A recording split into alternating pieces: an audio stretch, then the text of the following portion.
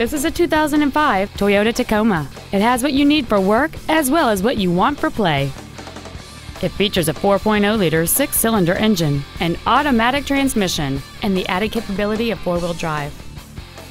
Features include air conditioning, cruise control, full power accessories, dual airbags, a sliding rear window, a bed liner, running boards, and alloy wheels.